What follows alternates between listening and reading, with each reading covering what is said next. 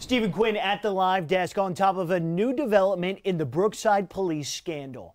The U.S. Attorney's Office earlier today filed a motion asking a federal judge to allow lawsuits against Brookside's municipal judge, police department, and town attorney to proceed. The statement of interest by the Justice Department was filed in the federal case of Brittany Coleman, who claims she was fraudulently charged with drug possession and her car illegally towed, among other issues.